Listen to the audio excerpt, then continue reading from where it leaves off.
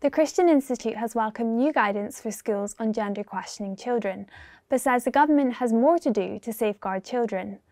The long awaited draft guidance, which is subject to public consultation, clarifies that schools are not required to treat children as though they are the opposite sex during school time.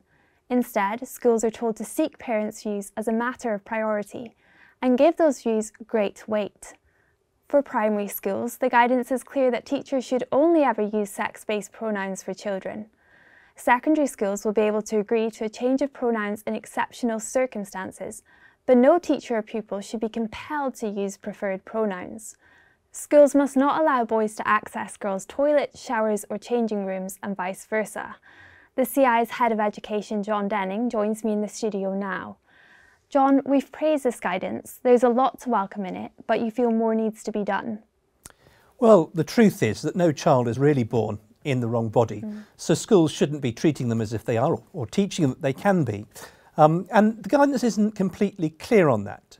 The only thing that, that really helps ultimately is for these children to be helped to, to be reconciled to the truth of their own body. And it, it would be good if the guidance was clearer on that. Um, but I think the biggest problem with the guidance is going to be ensuring that schools follow it. And I think the government needs to do more work on that.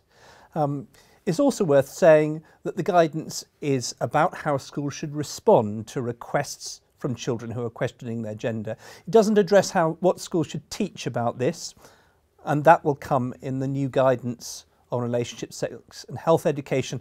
There'll be a consultation on that in the new year as well. So these consultations are really important. Um, people on the other side of the argument will be responding, so Christians need, really need to make their voice heard too. For more great content, like, subscribe and hit the notification bell.